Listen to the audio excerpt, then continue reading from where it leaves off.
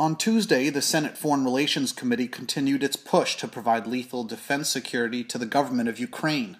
In my view, any strategy will not be effective unless the United States begins to provide Ukraine with the ability to inflict serious military cost using defensive weapons on the thousands of Russian troops operating in its eastern regions. Assistant Secretary of State for European Affairs Victoria Nuland told members of the committee that Russian tanks had crossed into eastern Ukraine and that Moscow had implemented a reign of terror in the areas it occupies, including Crimea, which Russia annexed last year.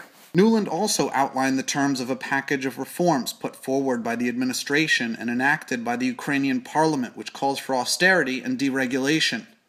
Just last week, the Ukrainians passed budget reform, which is expected to slash the, bu- the deficit significantly this year and to give more fiscal control to local communities and spur economic and political decentralization.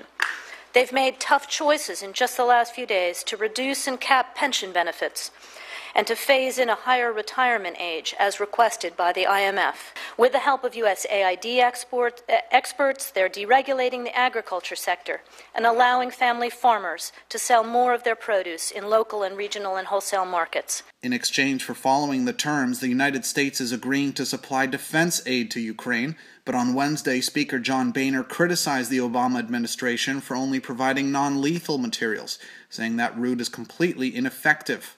Other critics say the austerity package is part of an effort to open up Ukraine's trade barriers and allow multinational corporations a foothold in the country's markets at a time when the country is weak and needs assistance as it faces a war with Russia.